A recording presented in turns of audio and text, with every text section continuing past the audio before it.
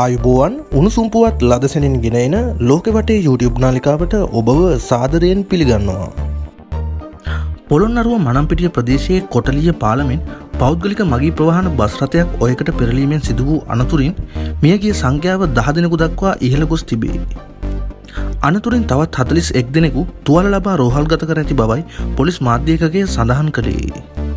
කදුරුවෙල සිට කාන්තක්කුඩි දක්වා ධාවනය වූ මෙම බස්රථය කොටලිය ඔයට පෙරලීමෙන් මෙම අනතුර සිදුව තිබුණේ. බස්රථය රියදුරට පාලනය කරගත නොහැකිව ඔයට පෙරලී ඇති බව පොලිසිය සඳහන් කළේය. අනතුරින් මියගිය පුද්ගලයන් අතර එක් කාන්තාවක්ද වන අතර තුවල ලැබුවන් හතලිස් එක් දෙනා ප්‍රතිකාර සඳහා පොළොන්නරුව රෝහලට ඇතුළත් කර තිබේ. පොළොන්නරුව මනම්පිටිය ප්‍රදේශයේ කොටලිය පාලමෙන් ඔයට පෙරලි අනතුරට ලක් වූ බස්රථයට ජාතික ගමනාගමන කොමිෂන් සභාවේ අවසර පත්‍රයක් නොමැති බවද වාර්තාවේ.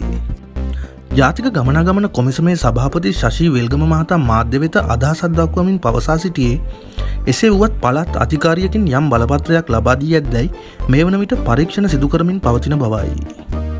මෙහිදී වැඩිදුරටත් අදහස් දක්වමින් ඒ මහතා පවසා සිටියේ අවිධිමත්ව ධාවනය වන බස්රථ සඳහා විශාල දඩමුදලන් නියම කිරීම සඳහා මේ වන විට නීති සකස් කරමින් සිටින බවයි.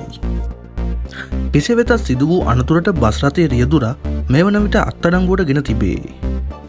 අනතුර සිදුවන අවස්ථාවේ බස්රථය තුළ මගින් පණහක් හෝ හැටක් පමණ සිටින්නට ඇති බවට විශ්වාසය පළකරන අතර ඒ අනුව කොටලිය ඔයේ ගිලි අතුරුදන් වුවන් සිටී නම් ඔවුන් සොයා නාවික හමුදාවේ කිම්දුම්කරුවන් තවමත් මෙහියුම් සිදුකරමින් පවතිී. උණුසුම්පුවත් ලදසැනින් ගෙන එන ලෝකවටේ YouTube නාලිකාව දැන්ම සබස්ක්‍රයිබ් කරන්න. ඔබ සැමට සුබ දවසක්.